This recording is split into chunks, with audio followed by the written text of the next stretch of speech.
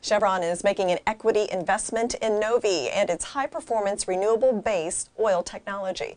Novvi is a joint venture of Amyris, Cosan, and the American Refining Group. The terms of the transaction were not disclosed. Novvi's products and technology are recognized by the global lubricant market to deliver sustainable, high performance solutions in a range of applications. The Chevron investment, according to executives, is further validation of the market acceptance that Novvi and its technology have achieved. Chevron's recognition of Novvi's technology platform and the sizable opportunity it represents within the industry to bring farnesene-based renewable products into its portfolio. The deal also provides Chevron with access to high-performance renewable base oils, which is strategically aligned with their aggressive growth plan, particularly in synthetic and renewable lubricant space.